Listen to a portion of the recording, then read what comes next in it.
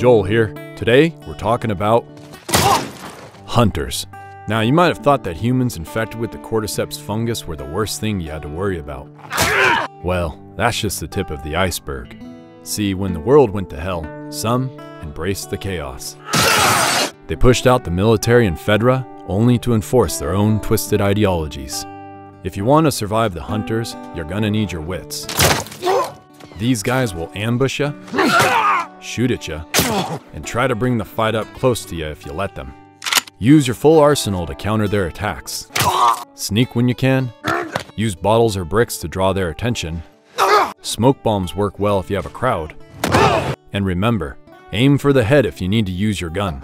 Last but not least, when in doubt, just throw a Molotov.